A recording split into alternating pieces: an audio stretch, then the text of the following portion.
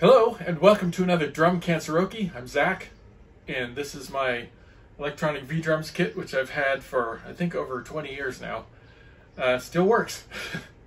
it's a little messy, but it gets the job done, especially for practicing. Uh, today's song is um, a another Stevie Wonder cover song that's done by two acoustic guitars. In this case, the song is "I Wish," uh, and it's the uh, the cover is done by Tuck and Patti um, who are a fantastic uh, dual acoustic guitar group.